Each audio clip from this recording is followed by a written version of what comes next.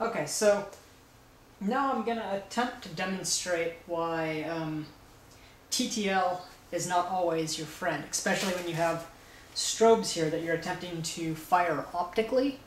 Um, TTL can cause an issue because when your camera triggers a wireless strobe um, and it's using TTL, it fires off what's called a pre-flash.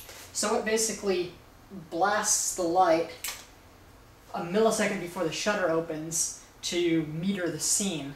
But while it's doing that, it triggers optically the other two strobes, and then the main, then the sensor opens up, the main flash fires, and the other, the optically trigger, triggered strobes haven't recycled in time to fire again.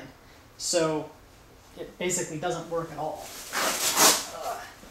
And unfortunately on my Sony, I can't disable TTL at all for some reason. So let me see if I can give you a demonstration of this. I'm going to optically trigger, or using the wireless mode on my flash, I'm going to trigger this guy, my speed light.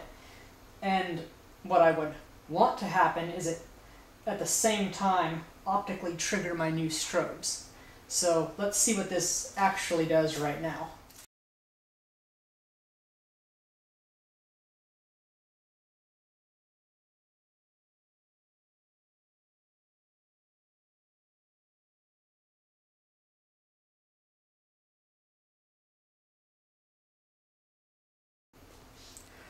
Okay, so now that you saw, it was difficult to see even in slow motion, but you saw the first one fired, it triggered the other ones, and then the main, the uh, speedlight fired.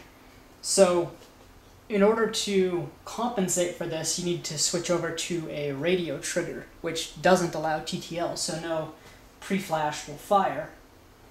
And I've just attached these um, Cowboy also strobes that can radio transmit fire, but because they're radio, it'll instantly trigger this one with no pre-flash, and that'll instantly also tri tri optically trigger our other flashes, so then we're good to go. Alright, well hope this helps someone. Bye.